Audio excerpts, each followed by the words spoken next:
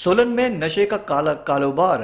Lockdown से पहले केवल निजी वाहनों से चलता था, लेकिन अब निजी वाहन चलना बंद हो चुके हैं तो इसलिए अब इस धंधे से जुड़े कारोबारियों ने इसका तोड़ निकालना शुरू कर दिया है। जो भी ट्रक या जीप एसेंशियल गुड्स लाने के लिए दूसरे राज्यों में जाते हैं, उन्हें इन कारोबारियों ने नशे तस्करी का माध्यम बना दिया है। अब इन वाहनों के माध्यम से राशन के साथ नशा भी नशेड़ियों तक सप्लाई किया जा रहा है।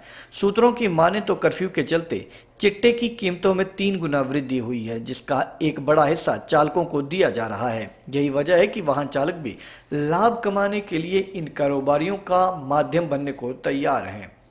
अतिरिक्त पुलिस अधीक्षक डॉक्टर शिव कुमार शर्मा ने बताया कि रात को एसआईयू की टीम ने एक ट्रक को रोककर उसमें सवार दो व्यक्तियों से गंभीरता से पूछताछ की गई तो वे कोई संतुष्ट जवाब नहीं दे पाए। जब ट्रक का निरीक्षण किया गया तो ट्रक से चिट्टे की खेप बरामद हुई। उन्होंने बताया कि यह ट्रक चंडीगढ़ की ओर से आ रहा था और चावल से लदा हुआ था। दोनों व्यक्तियों के खिलाफ मामला दर्ज कर लिया गया है और आगामी कार्रवाई की जा रही है। पिछली रात को लगभग 12 बजे दोहरी दीवार के पास जो हमारा नाका लगा है, वहाँ पे एसआईयू की टीम मौजूद थी और वहाँ पे एक ट्रक जो कि चंडीगढ़ की तरफ़ से आ रहा था, उसको रोका गया।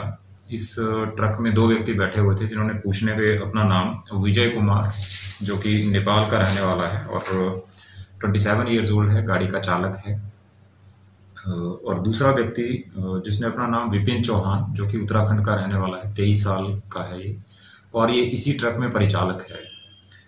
इनका नाम पता पूछने पे जब इनसे पूछा गया कि ये ट्रक में क्या सामान ला रहे हैं तो पाया गया कि ये ट्रक में चावल जो है, वो चंडीगढ़ से लोड करके ला रहे हैं, जो कि एक असेंशियल कमोडिटी है।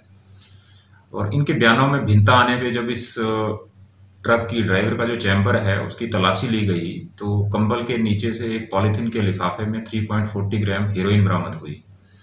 इसमें पुलिस ने एनडीपीएस एक्ट के तहत केस दर्ज कर लिया है। जो हीरोइन है, इसको कब्जा में ले लिया गया है और इन दोनों व्यक्तियों को गिरफ़्तार कर लिया गया है। फर्दर इन्वेस्टिगेशन केस में चल रही है।